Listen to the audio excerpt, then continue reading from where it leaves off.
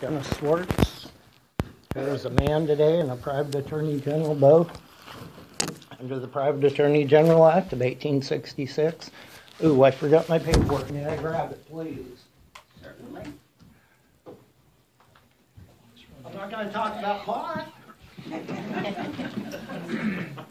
But I will say this, the encounter I had with our police here a couple of days ago, I think they all need to be smoking a little bit of pot. Wow, the resources you uh, brought in for that. Are you talking to me, Dennis? Uh, council members, I missed a city meeting over the centennial celebration to 10 fires down in the city. Tickled to death, we were finally getting them burned. Two inmates and four city workers were down there and started the fires.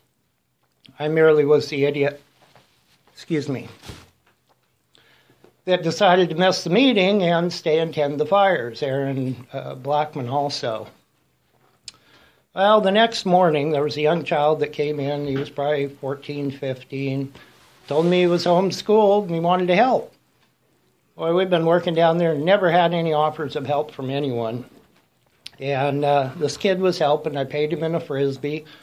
And uh, the next thing I know, uh, your bicycle cop that I've already explained to you threatened me in front of a whole courtroom full of people, including the judge that should have reported him.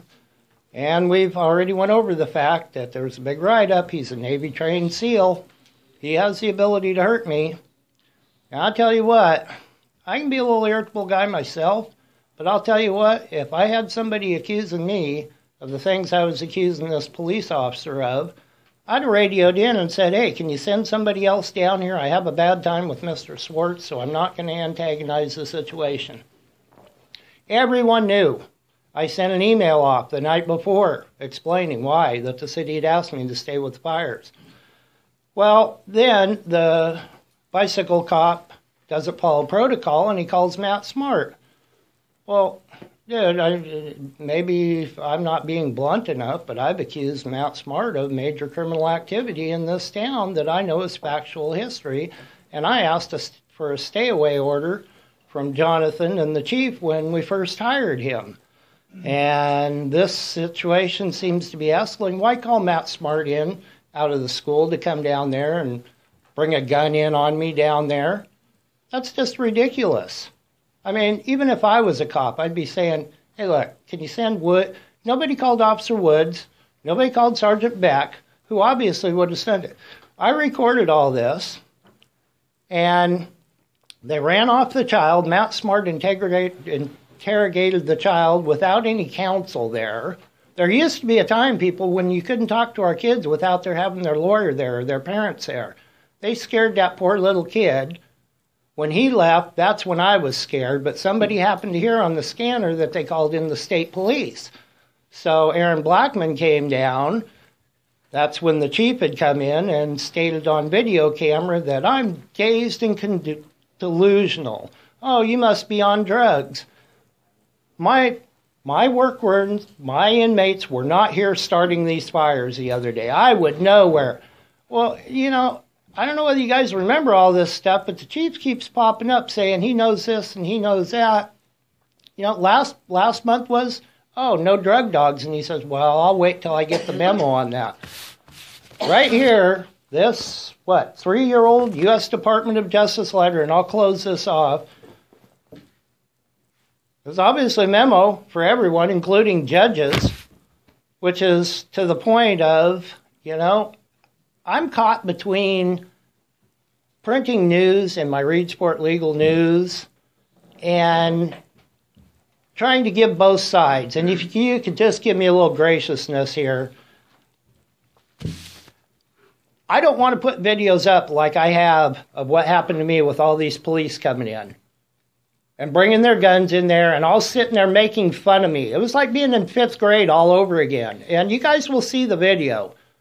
I'm trying not to put these things up because you know why? Then nobody wants to move here. I would love for people to move here. Quite frankly, we need to start searching for a new chief of police, a new lieutenant, and a new Trevor Gardner. And if you guys can't seem to put some movement that way, in getting rid of these officers that are causing these problems. I feel no more trust in Jonathan able to protect me. And I kind of thought we'd make this funny and I'd come in here and cite all of you for your animals getting off a leash. There was no reason for them to come down there and make fun of me and make fun of the hard work we've been doing down there. I don't do stuff to get credit for it, but I damn sure am not going to be stood over the top of and leered with a bunch of people with guns talking a bunch of crap. So I got one last thing here. These unlawful tows, I will release these to the public on unlawful tows. We have known for plenty of time that taking these people's cars is absolutely totally illegal. You don't have a warrant to take these. Think of how many people could afford their insurance if we weren't sending 300 and some dollars to the city on the poorest people here. You're taking and causing them 3 to 9 to 1200 dollars. People have had to pay to get their belongings back out of these unlawful acts. Ron doesn't need the damn money. We're not going to live like this. And I, you all might think I'm crazy, but we need other revenue than these police preying on these impounds, and it needs to stop, and it's totally illegal. So I would like you guys to have Jonathan set up something with you guys. He you, he promised us years ago when we hired this chief of police that there was going to be I was going to be on it, and there was going to be a citizen panel of as many private citizens as there were you guys to keep an eye on all of them. Because I'm telling you what, guys, these guys are out of control. Thank you. I love you. I appreciate you. Let's move forward with some of these things. Thanks for coming in, Dennis. Yes, sir.